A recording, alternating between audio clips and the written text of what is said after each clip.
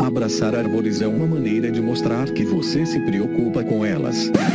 1, 2, 3, 4.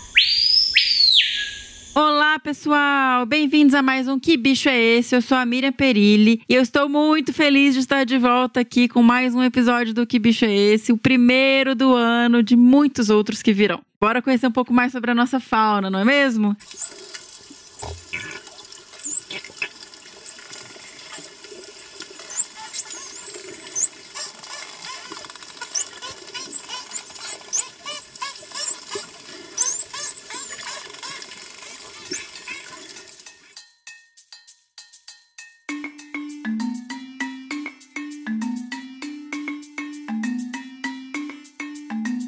O episódio de hoje é sobre o mundo fascinante dos golfinhos rotadores. A espécie é Stenella longirostris e para falar um pouquinho mais sobre esse bicho, eu conversei com o pesquisador doutor Paulo César de Azevedo Simões Lopes. O Paulo, que é biólogo pela Universidade Federal do Rio Grande do Sul e doutor em zoologia pela Pontifícia Universidade Católica do Rio Grande do Sul. Atualmente, ele é professor titular do Departamento de Ecologia e Zoologia da Universidade Federal de Santa Catarina, a UFSC. Ele é curador da coleção de mamíferos e orientador em pós-graduação nos programas de Ecologia da UFSC e Zoologia da Universidade Federal do Paraná o FPR. Ele é pesquisador do Conselho Nacional de Desenvolvimento Científico e Tecnológico de Produtividade em Pesquisa, do CNPq, e líder do grupo de pesquisas do Laboratório de Mamíferos Aquáticos, o LAMAC. Além disso, ele é revisor ad hoc de dezenas de periódicos e publicou mais de 130 artigos científicos em periódicos e capítulos de livros especializados,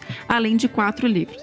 Quando eu li a biografia dele, eu corri para procurar os livros e eu achei um que eu fiquei curiosíssima para ler, que chama O Animal que Ri, e eu já baixei lá no Kindle para ler esse livro, tá? Sugiro que vocês façam o mesmo, tá disponível na Amazon e em outros lugares, outras lojas também, mas eu peguei na Amazon. Bom, vamos ouvir um pouco mais sobre o golfinho, então? Toca o episódio, senhora.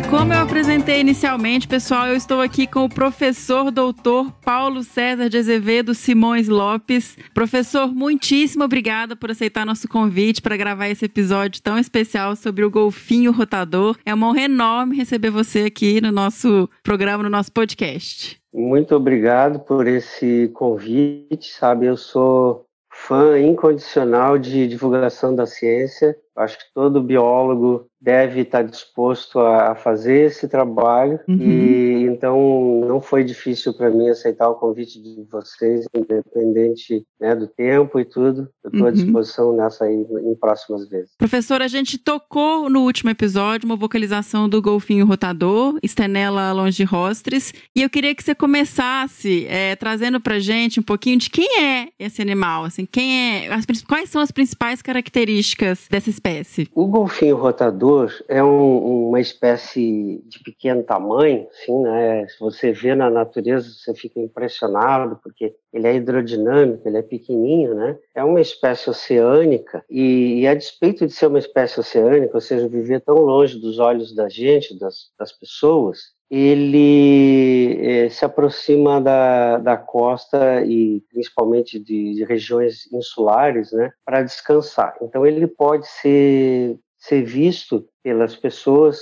acabou tendo até importância no turismo local em determinados pontos. Depois a gente pode falar sobre Fernando de Noronha, por exemplo. É um, um golfinho pequeno, é, ele é um golfinho listrado, como diz o nome dele em inglês. Ele tem três faixas de cor, assim, mais escuro em cima, mais clarinho embaixo, né? Uhum. É um golfinho de dois metros, mas quando a gente fala dois metros parece muito comprido, muito grande mas ele é levinho e pequenininho, assim, tem um, um focinho comprido, né? Um, uma face, um rosto comprido, uhum. compridão. E a marca registrada dele e o nome popular dele é que ele gira quando ele salta fora d'água. Ele é capaz de dar vários giros sobre o próprio eixo, feito um, uma helicoidal, assim, né? Consegue dar até sete ou seis, sete voltas sobre ele mesmo e depois cai fazendo um splash na água, né? E, e, portanto, ele é, muito provavelmente, ele é o mais aéreo de todos os golfinhos. Quando a gente fala aéreo, é que ele sai fora d'água, né? Ele pula. né, nesse sentido. Então, por ele ser um, um, golfinho muito saltador, né, ele é muito visível, pelas as pessoas enxergam ele, então ele acaba chamando muita atenção para isso. É aquela história, quem não é visto não é lembrado, né? E como ele é visto, ele é bastante lembrado, né? Então, é um golfinho ágil e, e saltador, né? Essa é a, a marca dele. Eu acredito que a maioria das pessoas já tenham visto, mas a gente pode até colocar um link para algum vídeo aqui é, desses golfinhos saltando e, e, é realmente muito impressionante. Os saltos são incríveis. E esses saltos, eles têm alguma questão comportamental, de, é, de comunicação, de como tem alguma explicação para isso, professor? Olha, os saltos dos, dos golfinhos há muito tempo que se busca explicações para estes saltos, né? Uhum. Se sabe estão só que, brincando. Que essa, é, não, é, às vezes a gente simplifica, dizer que estão se divertindo, né? Uhum. Brincando. De uma certa forma, quando eles, esses golfinhos, eles pescam à noite em águas profundas e retornam para essas enseadas de ilhas oceânicas durante o dia. Quando eles estão retornando, como se estivessem retornando para casa, né? Quando eles estão voltando para descansar durante o dia, eles têm uma vida invertida é, que a nossa, em termos de, de, período de luz, né? Então, eles são muito, muito ativos de noite e eles são pouco ativos de dia. Mas logo que eles chegam de volta nessas baías, no, durante as primeiras horas do dia, eles saltam muito, né? E vão se encontrando uns com os outros. É como se fosse é um, um mecanismo de comunicação, porque cada um desses saltos ele vai gerar um splash, uma batida na água, né? E então, quando você está tratando de um grupo muito grande, porque esses golfinhos eles se unem em grupos de centenas e, em alguns casos, milhares. Então, você não tem como fazer uma, uma comunicação com milhares, né? Mas como é um bicho, isso é uma marca registrada dos golfinhos, eles são animais sonoros, né? E essa é a razão, inclusive, do, do som do podcast que a gente pode conversar mais. Então, não é só a questão da vocalização que importa, também outros sons, como esses sons desses splashes, dessas batidas na água. Então, realmente é como se fosse, em parte ali, é uma comunicação com um grupo muito grande. Então, imagina que um golfinho salta, ele está comunicando a posição dele, o tamanho dele, ele está comunicando um monte de coisas, né? Porque os golfinhos são muito mais auditivos que visuais, né? uhum. né? porque o mundo na água ele tem uma, uma penetração de luz mais baixa, mesmo em águas muito claras, muito transparentes, né? A visão é muito mais reduzida e o som, ao contrário, ele viaja muito mais longe. Né? Então, os golfinhos tendem a ser criaturas muito mais sonoras que visuais. Nós somos muito visuais, e também somos sonoros, mas é, nós somos uma espécie extremamente tagarela, né? mas os golfinhos também são. Agora, existem outras formas de comunicação de som que não são produzidas é, vocalmente. Então, o bicho pode saltar e ele diz: Olha, estou aqui, cheguei, eu Olha, sou fascinante. Fulano, né? Uhum. É, isso aí são. E todos eles pulam muito. Quando uns vão chegando, os outros pulam. Então, é uma coisa meio festiva. É como se a gente chegasse numa festa e chegasse querendo, cheguei chegando. Tá? É Voltei, comi bastante. Tô... É, é, pessoal, estou aqui. Vocês pensavam que eu não ia voltar? Estou aqui. Mas, claro, Legal. isso é uma simplificação que eu estou fazendo, né? Mas é um mecanismo de comunicação, sim, né? o salto. E você mencionou que eles vivem em grupos gigantescos, né? De centenas de animais. Mas dentro desses grupos, eles têm famílias? Como é que é a divisão social da espécie? É, a maior parte das espécies de golfinhos e os rotadores se incluem nisso, eles têm uma, uma sociedade, um agrupamento social fluido, né? Quer dizer, fluido no sentido assim, eles vão trocando de grupo, né? Se misturando, porque como eles vivem em grupos de centenas e às vezes milhares, quando a gente faz as, fala às vezes milhares, a gente pode dizer, olha,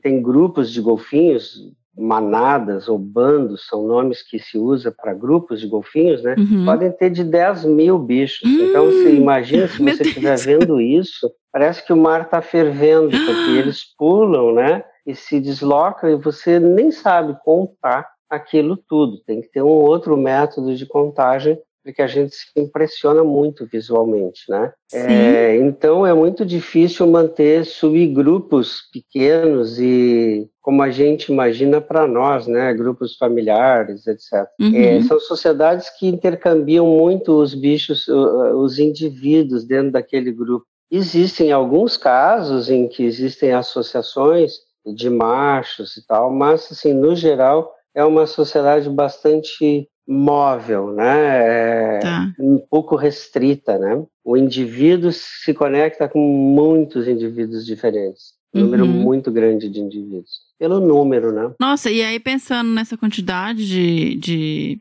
de golfinhos, precisa existir também uma quantidade enorme de recurso, né, para eles se alimentarem. Qual que é a dieta, basicamente, dos golfinhos? Esses, esses animais, eu vou dar um exemplo de Fernando de Noronha, mas tá. que aliás é o nosso paraíso brasileiro, né? Uhum. É, mas isso aí é a mesma coisa que acontece em outra ilha muito famosa do mundo, que é o Havaí. Uhum. Não é a regra, mas são coisas comuns para essa espécie. Esse bicho vai descansar numa enseada dessas ilhas oceânicas uhum. durante o dia, onde ele está vivendo o mundo social dele, ele se reproduz, ele amamenta, cuida dos filhotes, etc. E à noite, ou ao fim de tardezinha, ele parte para comer, né? Então, a, quando a noite começa, quando vem, ele vai se afastar dessas ilhas e vai para zonas de alimentação que são praticamente desconhecidas. Né? Então, o que, que eles hum. fazem? Daí eles vão comer peixes pequenos, geralmente. A gente tem que sempre imaginar que nos trópicos, na região tropical, e, e nas águas muito abertas, longe da costa, você não tem muita comida fácil, não tem assim uma grande biomassa, uma quantidade de comida. Então eles acabam tendo que escolher alguns algumas presas, né, alguns alimentos. Eles aproveitam, por exemplo, algumas lulas de profundidade à uhum. noite, essas lulas sobem e vêm comer o plâncton que está mais perto da superfície. Neste momento é o momento ideal, tipo assim, a comida chega mais perto de você. Uhum. Então é o momento. Eles podem mergulhar fundo, esses golfinhos, tem casos, tem registros de até 600 metros que eles mergulhariam, né? Mas o, o isso são recordes, isso não é uma regra mas é, de fato eles estão aproveitando que essas lulas vêm um pouco mais para cima, porque elas estão lá embaixo, né? daí elas sobem um pouco e aí eles mergulham. Então existe essa sinergia é, dessas duas coisas, as presas vêm para cima e os golfinhos aproveitam e mergulham, né? Então à noite é uma sessão de mergulhos de todos esses grupos enormes de centenas de animais. Eles viajam para essas zonas que eles conhecem que são zonas com boa, com melhor alimentação e acabam então é, se banqueteando nesses grupos, né, nesses cardumes de peixes geralmente pequenos, mas de lulas e principalmente e às vezes de camarões também, porque às vezes você viajar de um veleiro no mar aberto nos trópicos, você não vê muita coisa, você vê águas vivas, você vê peixe voador, mas você não vê é, grandes cardumes, né? Porque os bichos é, estão mais no fundo. Então, os golfinhos têm que achar o horário certo para isso. E o horário certo é à noite. E aí entra também nessa questão que você tinha mencionado dos animais não enxergarem tão bem, não usarem mais a parte, os estímulos auditivos, porque eles pescam de noite, imagino que. Imagina, né? Exatamente. Eles pescam sem ver nada, né? Uma coisa em que a gente não concebe, porque comer para nós está associado a várias coisas, ao próprio gosto, mas também a ver, né? Exato. E para eles está associado a ouvir. Então, as imagens que eles têm, é difícil para a gente, às vezes, entender esse paralelo, mas, assim, é uma imagem auditiva. Uhum. Né? A gente tem imagens, para nós, a, a significação de imagens é uma coisa visual, mas eles têm imagens auditivas, eles vão ouvir o peixe, vão saber o formato do peixe, porque eles têm sistemas de sonares, né? Que, aliás, os homens copiaram dos golfinhos e dos morcegos, né, o sistema de sonar, e eles vão, então, emitindo esses sinais de chamados de ecolocalização, ou biosonar, esse som que eles emitem bate no peixe ou na lula lá embaixo e volta e eles ouvem uma lula, o formato de um peixe, o formato de uma Ai, lula. Que né? maravilhoso. Né? Uhum. Eles formam essa imagem mental do, da reflexão do som. Né? Nós formamos uma imagem mental da reflexão da luz. É, são, são maneiras diferentes de ver o mundo. Sim, é, nós, macacos, todos vemos o mundo mais ou menos do mesmo jeito. Já os mamíferos de chão, né, um cachorrinho do mato, vê um mundo muito mais olfativo e os golfinhos veem um mundo muito mais auditivo. Legal. Essa sim seria uma, uma viagem sensorial, assim. Maravilhoso. Então a gente podia falar um pouco mais dessa questão do, do som e da comunicação, aproveitar. Estamos já um pouco dentro do tópico. É um mundo paralelo, né? Com a comunicação. Eles têm linguagens, tem a parte dos sonares. Conta pra gente sobre esse mundo dos golfinhos. É um mundo super vasto, sem dúvida nenhuma. É praticamente uma área do conhecimento é, em grande evolução, né, em grande desenvolvimento. Hoje, jovens pesquisadores têm no, no estudo dos, dos sons animais, né, é, tem espécies sonoras como são as aves, né, e principalmente as aves, mas também aí entram os morcegos, entram os golfinhos, as rãs, as pererecas, né, todos esses bichos muito sonoros, eles acabam fornecendo uma nova área de conhecimento. E eu digo assim, não é que ela seja nova no tempo, né? Em 1900 depois da Segunda Guerra Mundial, as marinhas do mundo todo começaram a investir no estudo do som dos golfinhos. Uhum. Claro, foi um início um tanto quanto bélico, né? Mas Sim. hoje a gente pode estudar golfinhos e não precisa estudá-los mais em cativeiro, porque numa época essa foi a tônica. Mas hoje não é mais esse argumento que vale, né? Até porque um bicho em cativeiro se comporta de uma maneira simplificada e geralmente adoecida, né? Ele é um, um prisioneiro. Uhum. Mas hoje se pode estudar golfinhos em liberdade. Existem uma série de equipamentos que foram melhorando muito com, com o tempo, né? E aí se passou a ter é, gravadores e hidrofones muito mais capacitados. Por isso, o estudo dos golfinhos permitiu saber que eles têm uma quantidade muito grande de sons de diferentes frequências, né, e de diferentes formatos quando a gente grava. Se vocês, se você, qualquer pessoa que mergulhar em Fernando de Noronha, por exemplo, hoje,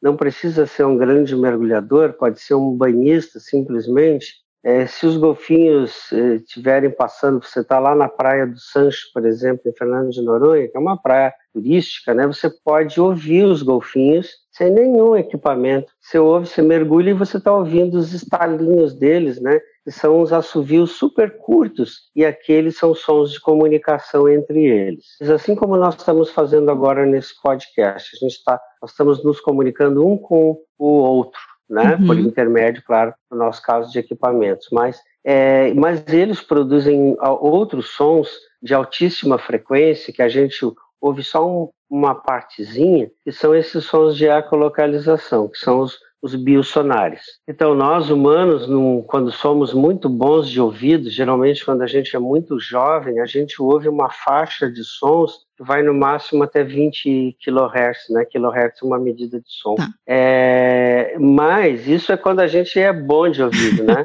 a maior parte de nós, ao envelhecer um pouco, já vai ouvindo 18, 16, 14, e aí a gente Hoje tem até uns apps aí que dá para saber, né? O que, que você está ouvindo? Então ele emite um sonzinho, você, pô, só estou ouvindo 14 kHz, a gente fica apavorado. Né? Mas isso aí não é, no, não é ruim, é, é, é, na verdade a nossa média, né? Mas os golfinhos usam esses sons de alta frequência muito acima de 20 kHz, eles vão mais de 100 kHz, quer dizer, eles estão ampliando enormemente, porque eles precisam detectar uma lula a 600 metros de profundidade. Na verdade, um grupo de lulas, né, a 600 metros de profundidade. Então, eles têm sons para caçar, que são esses de alta frequência, eles têm sons de comunicação que se, simulam um, um, que parecem auditivamente para nós um assovio curtinho de um, um canáriozinho, né, como se estivesse assoviando que a gente ouve na rua, é o, esse piadinho é o que a gente ouve se tiver com o, o ouvido debaixo d'água,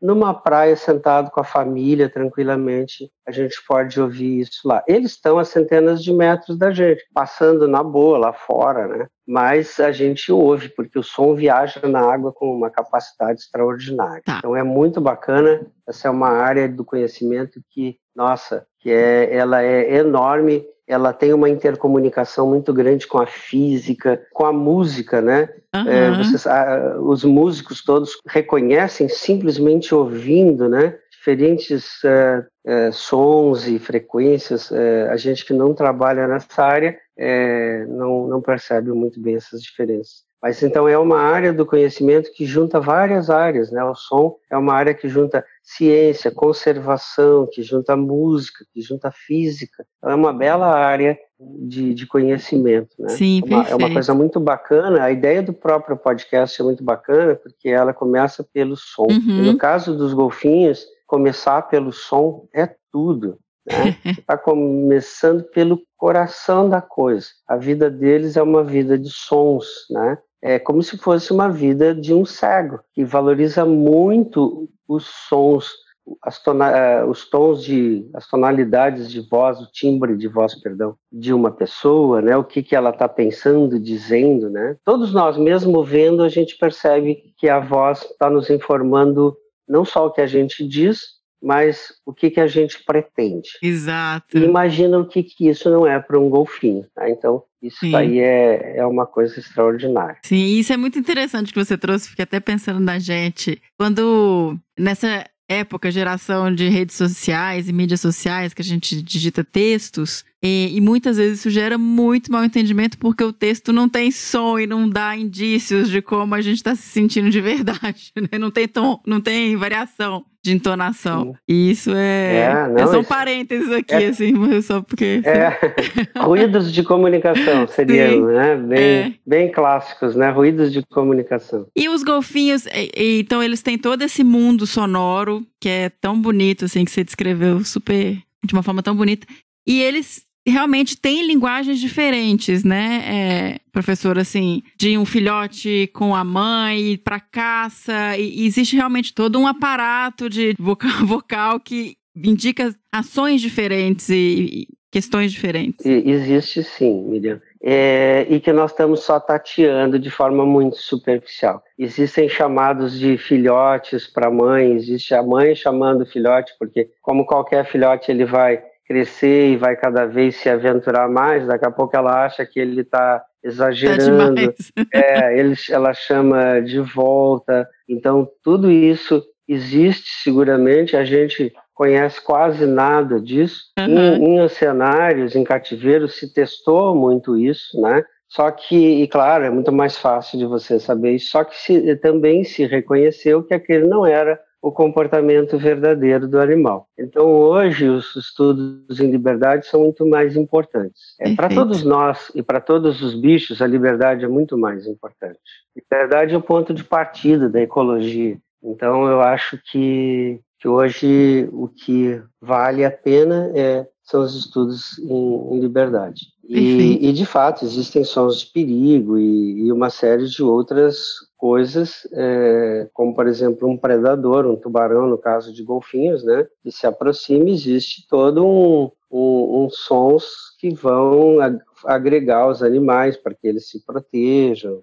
É, é muito bacana isso. Eu tive a sorte de mergulhar com golfinhos rotadores uma única vez, mas que é importante que os ouvintes entendam que isso é uma credencial especial, assim, não é uma coisa corriqueira, não é uma coisa que aí eu posso tocar no golfinho, não, não pode e não deve, porque você é uma coisa muito estranha para ele. Mas, assim, evidentemente pode acontecer um encontro fortuito, e eu me lembro que esse encontro fortuito que eu tive foi muito bacana. Ah, o golfinho veio numa velocidade espantosa em direção a mim. Eu cheguei a pensar que eu ia ser abalroado, né? Mas ele parou a uns 40 centímetros de mim e eu podia ver que ele estava me fazendo uma leitura minha, né? Como é que é este cara tão estranho aí?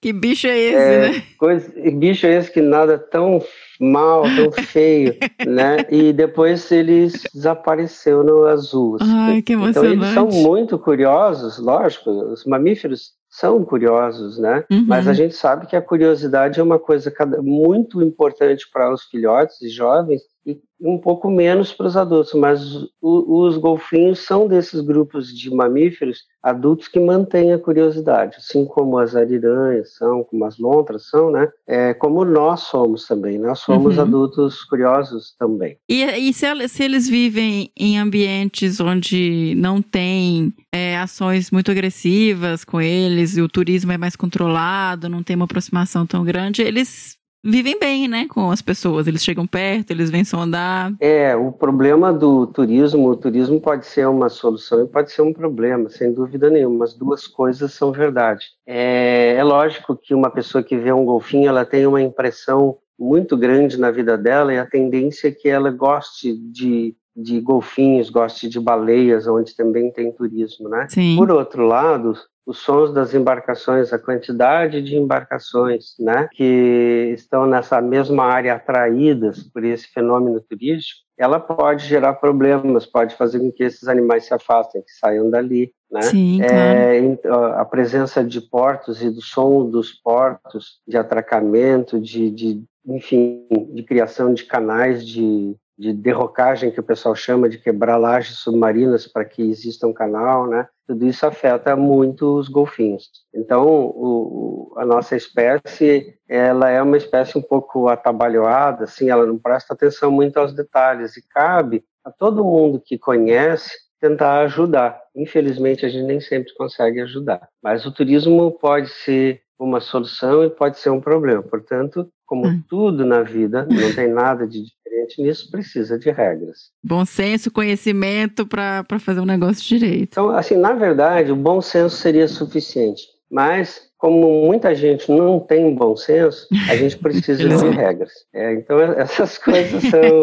A regra é uma consequência nefasta da nossa falta de atenção com relação aos outros. Né? Senão, claro, não precisariam praticamente nenhuma regra. É, mas hoje, assim, o, o, o, o, turismo é um dos fatores que pode atrapalhar. O tráfico de embarcações é um fator que pode atrapalhar. Outro fator que pode atrapalhar é, são a, a pesca, né? os efeitos colaterais da, da pesca. Então, são várias questões que podem afetar os golfinhos. Né? E a gente já vai chegar lá. Vamos só falar um pouquinho antes sobre reprodução, e aí a gente já pode falar um pouquinho mais sobre conservação e essas ameaças todas. Aliás, antes da gente. aquela voltando um pouquinho atrás, quando você falou da caça, eu fiquei com uma pergunta aqui e ela foi ficando para trás.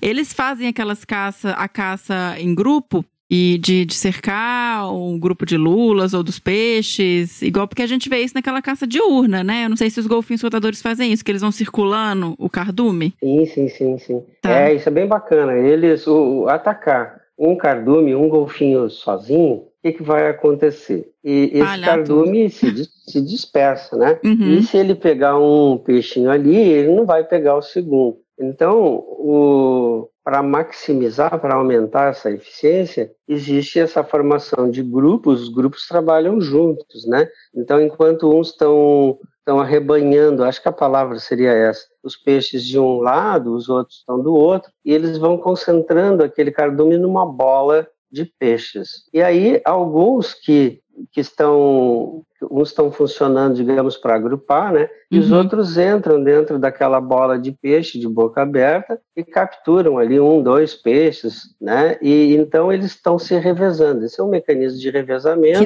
na qual você você faz o seguinte, você espanta que eu pego. Ah, mas e, e eu? Né? Seria a pergunta. Não, daí depois você, é, eu, eu espanto e você pega. Sim. Né? Então esse revezamento existe, sim. Se pode ver isso Uma em algumas imagens né? muito bonitas, né? Uhum. Chama-se cooperação. Que Uma legal. característica que os, que os mamíferos têm, né? De trabalhar em cooperação. A gente, para nós, a cooperação, no caso dos mamíferos em geral, mas no caso nosso, eh, de primatas ou de golfinhos, é a mesma coisa. Uhum. A cooperação é um mecanismo de que todo mundo tire um proveito um pouco maior do que o faça sozinho. Se todo mundo colaborar, tem para todo mundo. Exatamente, essa, essa é a ideia. E, e, e, os golfinhos rotadores fazem muito isso, de agrupar e fazer uma bola né, de peixes. E aí esses peixes tendem a fugir para a superfície e aí são atacados por aves marinhas de cima, né? Uhum. Então, daqui a pouco, aquela bola de peixes, aquele cardume concentrado, está sendo atacado de todos os lados. Uhum. Tem atobás, tem, tem gaivotas posadas, tem um monte de bicho e tem golfinhos por baixo, né? Então, e até outros peixes predadores se aproveitando daquele fenômeno de agrupar os peixes ali. Nossa, deve ser muito fascinante ver uma cena dessa. É muito fascinante se você tiver é, numa água clara que consiga ver realmente isso, é muito fascinante. E eles fazem Tem isso de noite também? E eles fazem isso de noite também, né? Olha então, ah, aí, claro, eles estão com comandos sonoros, é o que a gente estava conversando logo antes. E o comando sonoro é muito, para nós, ele é muito fácil de a gente entender, porque a gente também tem isso, né? É, mas é, é isso mesmo. É um vai por ali que eu vou por É, aqui. cerca ali. menos uma coisa assim. É cerca ali. Você deixou passar um Fantástico. monte de gente, como é que pode, né? É, mas é isso aí sim. Então, vamos para falar um pouquinho de reprodução, porque também existem algumas peculiaridades, certo? Assim, de corte, como é que os bichos namoram? Então, esse, esse namoro dos golfinhos é uma coisa muito, é, muito bacana de se pensar, né? Um tempo atrás escrevi um livro sobre biologia dos golfinhos e eu tinha um capítulo que era só sobre isso, se chamava Sexo, Agressão e Sociedade, né? Na verdade, a nossa sociedade também responde a essas coisas. Mas os golfinhos rotadores são muito particulares em relação a isso, porque eles é, não têm, não são monogâmicos, né? Então, Uhum. fêmeas copulam com vários machos, machos copulam com várias fêmeas, né? Então é o que a gente é o que se chama de uma sociedade poligâmica, mas é comum que os que uma fêmea vá sendo vá copulando em sequência com vários machos. Então isso sempre causou muito auê na cabeça das pessoas, assim, né? Como assim? Mas a, a gente precisa entender que mesmo para gente nós estamos falando de, de culturas e tabus Sim. culturais. Então você não pode estender isso para uma outra espécie que tem uma outra percepção de mundo, né? É completamente diferente. Exatamente. Mas nos golfinhos rotadores, é o que se sabe é que eles têm o que chamam de competição espermática. Então, um golfinho vai lá copula com aquela fêmea, o próximo vem copula também, e depois vem o terceiro e o quarto. E o, o esperma de, daquele que entrou por último vai tendendo a expulsar o esperma dos outros, né? Ah, tá. Para que ele seja aquele que vai emprenhar a fêmea de fato, né? Toda a evolução biológica se baseia fundamentalmente nos descendentes, né? Sim. Tudo Uhum. que é o que a gente deixa. Claro que nós humanos deixamos legados culturais também. Perfeito. Hoje a gente tem poucos filhos e nossos eh, legados são muito culturais. São um legado diferente que também é importante dentro da evolução. Mas esse é, é o sistema de, de acasalamento dos golfinhos rotadores, que é essa dinâmica maluca, assim, de um monte de machos que, que vão lá disputar é, aquela fêmea. É a mesma coisa que acontece com baleias é, jubartes, com baleias francas, é a mesma coisa que são aqueles chamados grupos de acasalamento. E aí tem Gente. muito salto nesse momento, é uma coisa muito ativa, né? Todo aquele mecanismo de cópula é um, os bichos pulam fora d'água. A gente olhando de fora não entende quase nada, mas aquilo ali é uma reunião social com um monte de conotações sexuais e é muito bacana Que perceber legal. isso, né? Nossa, deve ser, deve ser muito, deve ser incrível acompanhar golfinhos, estudar comportamento, né? Você poder ver Ah, sim, sim. todas essas características.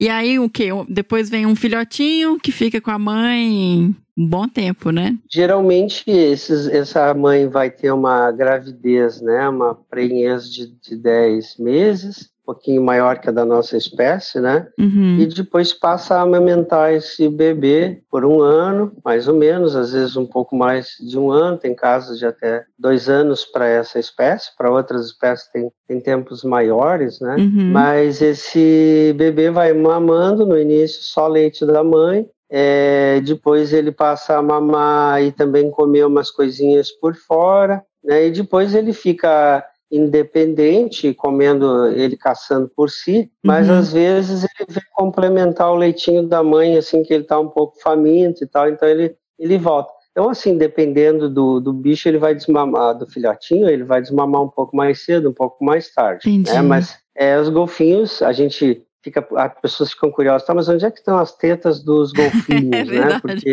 é, se eu sei onde é que está de uma vaca, sei de uma cadelinha, de uma gatinha, mas é, onde está de um golfinho, né? Então, para não atrapalhar o movimento, que é um movimento ultra rápido, né? Essas tetinhas elas são recolhidas dentro de uma dobrinha de pele, que é uma fendazinha, né? Uhum. Mas na hora que o bichinho vai vai mamar, ele vai ali com o bico dele para mamar, aí essa tetinha ela everte e é igualzinha a tetinha de uma cadelinha, não tem nenhuma diferença, né? Então, ele vai mamar normal ali, ele faz um, um canudinho com a língua, assim, Mentira. isso é bem difícil de ver as imagens disso, e ele vai mamar nessa teta da, da mãe. E essa mãe dá de mamar, mas às vezes quando ela tem que caçar, outra fêmea adulta fica com o filhote, não dá de mamar, mas fica cuidando daquela creche. É o que a gente faz também, a gente deixa numa creche, né? Essas creches, elas funcionam desse jeito também. Se uma mãe está precisando fazer determinada coisa que não cabe ao filhote estar tá junto, por uma questão de risco, né? Uhum. Esse filhote fica junto com outros filhotes e junto com uma fêmea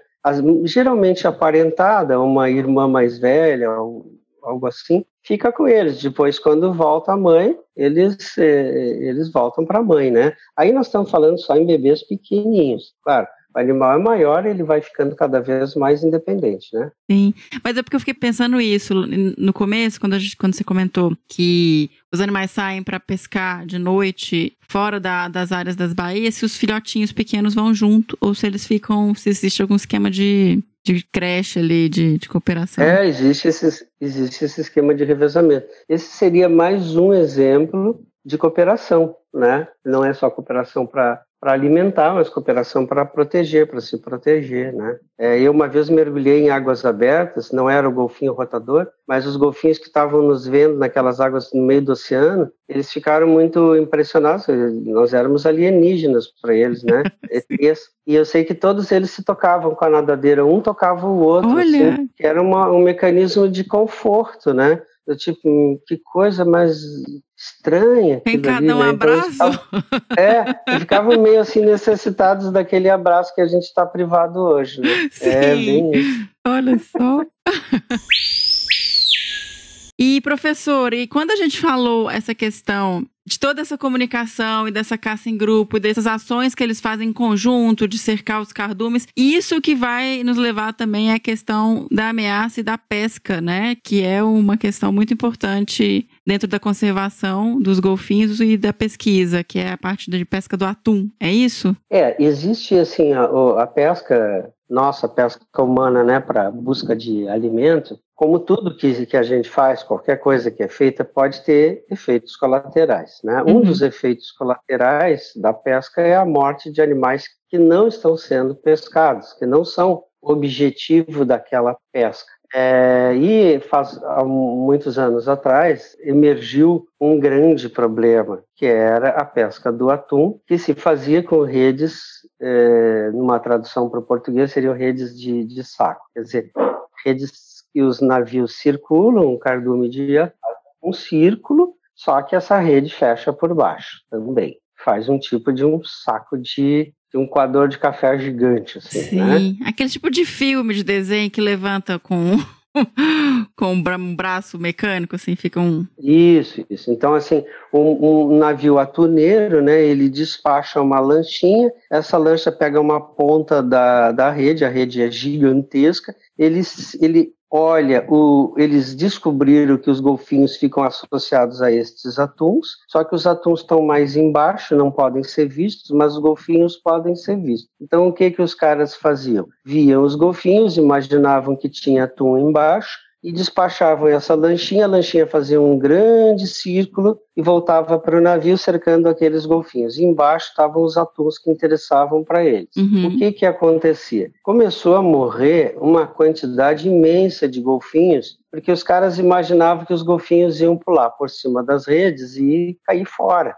Mas o fato é que eles ficavam tão apavorados, eles entravam em pânico, os golfinhos, e não conseguiam. Alguns escapavam por baixo, outros por cima, mas a maioria ficava atônita, num estado de pânico e, e, se agrupava ali e não sabia o que fazer, porque era uma coisa antinatural, eles não estavam preparados para aquele tipo de ataque. E aí morriam, eles entravam em, em pânico e, e, infartavam, inclusive, né? Ficavam uhum. completamente fora da, da, da, casinha, assim, afundavam, se malhavam nas, nas redes e se afogavam, porque uma vez que são mamíferos, se afogam, mesmo com capacidade de mergulho, ser boa, né? Então, com essa mortalidade altíssima, houve todo um problema, como que a gente resolve isso? Para comer atum, a gente tem que matar é, milhares de golfinhos, né? Então, começaram a criar novos tipos de rede que é, os, as embarcações afrouxavam uma parte da rede, tiravam a tensão dessa parte da rede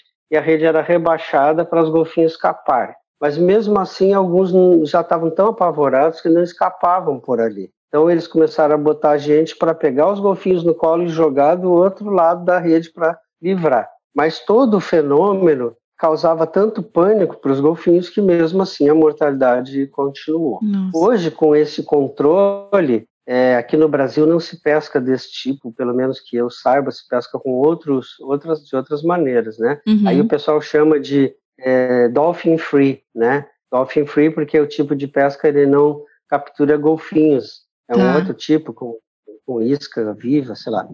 Bom, mas enfim, também tem seus efeitos colaterais. Mas esse foi um salto que se fez, ah, porque assim os golfinhos, a rede para um golfinho é uma estrutura não natural. Ele consegue detectar que a rede está ali, só que ele não sabe que a rede vai capturá-lo, porque ele é, ele está acostumado a ver algas no fundo do mar que formam cortinas grandes de algas. Ele sabe que ele, aquilo ali é um anteparo, mas que ele vai conseguir passar por aquele anteparo.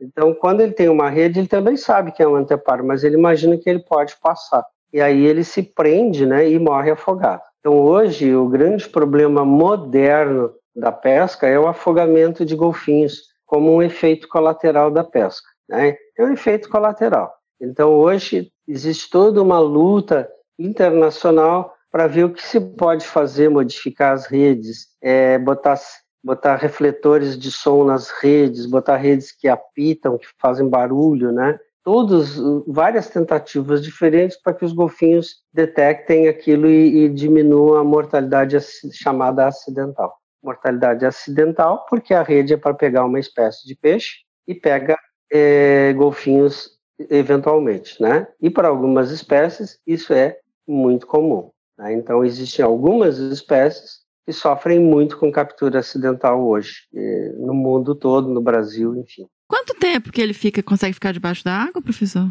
Sem respirar? Isso varia muito para a espécie, né? Os golfinhos não ficam tanto tempo debaixo d'água. Eles maximizam muito, eles são muito velozes embaixo d'água, né? Mas Muita eles energia. dão eles têm muita capacidade de, de chama-se apneia, né? Uhum, Suspensão sim. respiratória da respiração. Então você controla a sua respiração, vou prender a respiração e vou mergulhar. Não é por, por esse que é o problema de eles morrerem afogados, é porque eles ficam presos na rede, ou seja, eles não vão conseguir voltar independente do tempo é, pois é, sim, que eles estiverem ali, né? Que a rede faz umas pregas embaixo, essa, ele vai e, e, se enrola naquela prega, né?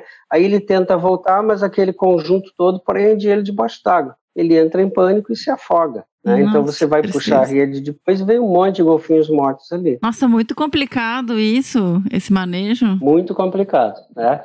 É, que eu saiba, a pesca de atum é, no Brasil não é feita deste jeito mas existem outras pescas e outros problemas, né, sem dúvida nenhuma. Então esse hoje é o grande problema dos golfinhos, é o efeito colateral da pesca. Existe atropelamento por embarcações, jet ski, lanchas rápidas, esqui aquático, é, existe poluição de petróleo, existe é, com vazamentos de petróleo, né? Existem outros problemas de conservação que a gente que, que vão afetar os ou podem afetar os golfinhos. A pesca é um deles, mas é ao mesmo tempo um, um problemão. Né? É, a pesca é complicado, nenhuma. porque, igual você falou, tenta se minimizar, mas zerar o problema é difícil, porque é uma é produção de alimento, né? Entra nessa parte. Exatamente. A, a população mundial crescendo de uma forma impressionante, né? Os nossos recursos tecnológicos são cada vez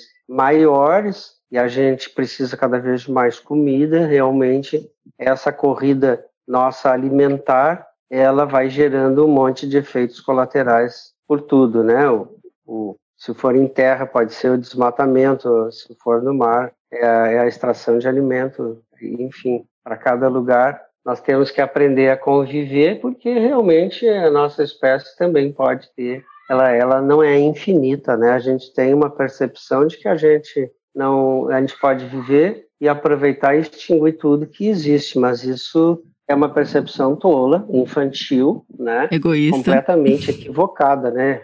E egoísta também, né? Então não, não é este o caminho. E, e quando a gente aprende a conviver, existem caminhos com muito menos danos, né, que, que são possíveis. Então, acho que a gente não precisa de exageros, mas a gente precisa, sim, conhecer e procurar um, uma forma mais tênue de que cause muito menos impacto, né? Aqui nós estamos falando sobre golfinhos, mas isso é uma coisa, uma questão ampla, na verdade. Não é uma questão pequena, né? Sim, perfeito. O plástico é um problema também ou, ou não é tanto para o golfinho? Plástico também, porque alguns golfinhos é, se alimentam. Isso é um, o plástico é um grande problema para as tartarugas marinhas, como se sabe, porque elas confundem o plástico com água viva e ingerem. É, também tem casos de golfinhos que ingeriram plástico também. O que, que acontece com o plástico? Ele não vai se desmanchar e ele entope o sistema digestivo, ou seja, um animal vai morrer é, de fome com o estômago cheio, choque cheio de plástico. Então, ele, uh, isso pode acontecer sim, tem, tem casos que se conhece, tem outras questões de lixos, de microbolinhas, né, que funcionam como é, essas, essas estruturas de isolamento térmico e outras, né? O microplástico, que, né? É, o microplástico flutua pelo mar. Tudo isso... Na roupa de ginástica, gente.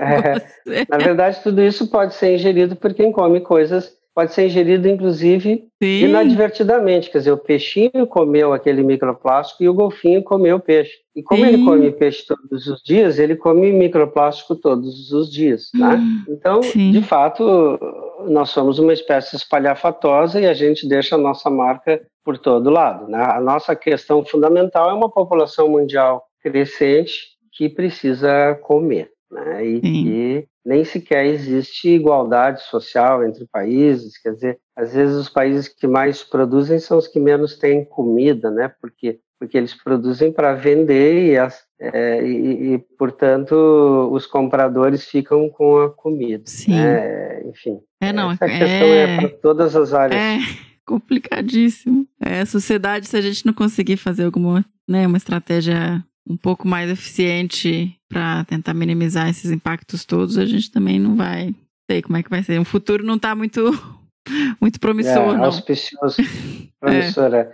Para os golfinhos, a mortalidade acidental nas redes de pesca é o, o, efeito negativo mais importante. Isso é bom que fique na nossa conversa, Sim, tá. porque é, existem muitas fontes, mas às vezes a gente precisa, tá, mas qual é o maior, o maior problema? Bem, é isso. Sim, o que é prioridade é, de ação. É, a prioridade de ação é, é essa. Né? Tá, perfeito. E o ser humano é uma espécie muito inventiva, muito criativa. Então cabe a nós criarmos uma solução. Eu gosto muito de uma frase que se diz que, que as pessoas são o problema, as pessoas também são a solução. Então, acho que é isso que a gente tem que pensar em todos os problemas que a gente encontra, a gente também encontra soluções. Esse é o nosso uma das uma das nossas missões, não só no caso de profissionais da área, mas é uma missão de todo cidadão, né? Encontrar a solução. Perfeito. Todas as pessoas estão aí para. Elas podem criar problemas, mas elas têm que criar soluções. Sim, e quando a gente quer, a gente é muito bom nisso, né? Então. É, a gente é bom.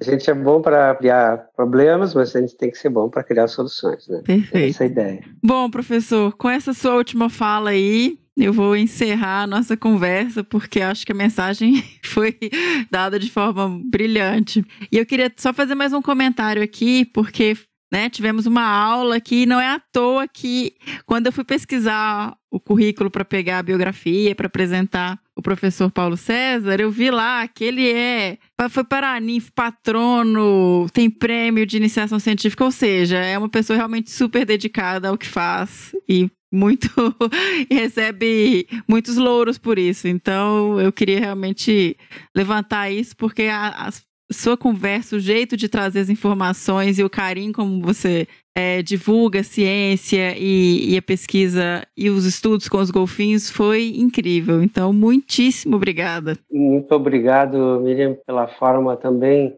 muito carinhosa e, e, inteligente de levar essa nossa conversa, é uma conversa, né? É, aliás, conversa é, conversa é o que nos falta nesse mundo, a gente poderia conversar mais. Uhum. é, e muito obrigado pela, pela maneira com que você conduz o, esse programa, esse seu programa, tá? Parabéns a todos vocês que, que têm interesse, que assistem. Esse é o caminho, né? Nós temos que nos informar e, portanto, podemos daí fazer alguma coisa por um mundo melhor, né? Muito obrigado pela, pela tua atenção. Estou sempre à disposição de todos vocês, tá? Sim, olha que em breve você volta aqui para contar pra gente sobre outros bichos, porque, gente, eu reduzi aqui hoje, porque eu, se deixar, eu falo uma hora e meia aqui de perguntas pro professor, porque tem muita coisa legal para saber, né? Então, Esperamos você de volta aqui em breve. Queridos, queridas, fiquem muito bem, tá? Contem comigo.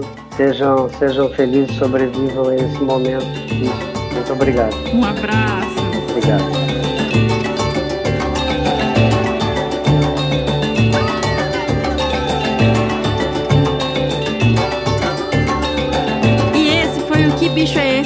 Golfinhos rotadores abrindo aí 2021? Eu espero que vocês tenham gostado. Eu me senti muito privilegiada por ter tido essa conversa com o professor Paulo. É, é, sempre muito bom, né? Quando a gente conversa com professores, professores experientes e que gostam do que fazem e que valorizam a importância da divulgação científica. Então, realmente foi uma conversa muito especial, com muito didática, com muita informação, e eu espero que vocês realmente tenham gostado, tá bom? E vou tocar e agora, na sequência, a gente vai tocar o som do bicho do próximo episódio. Toca aí, senhora.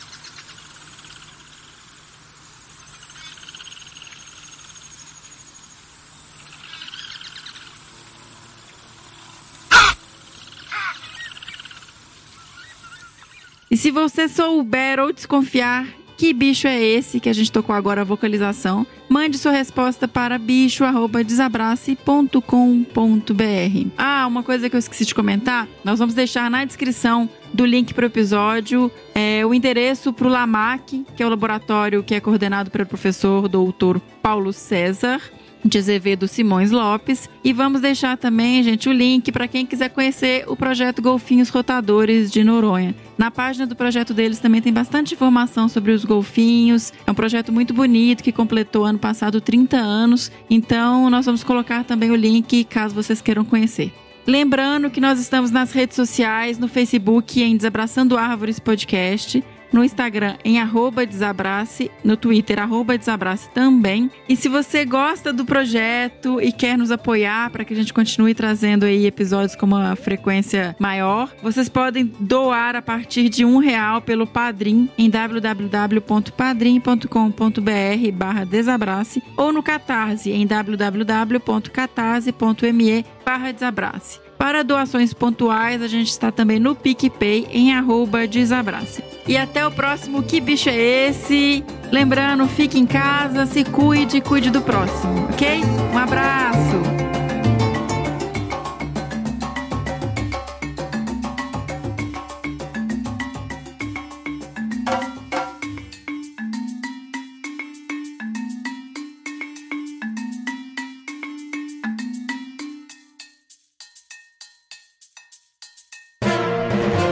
Mais um produto com a edição do Senhor A.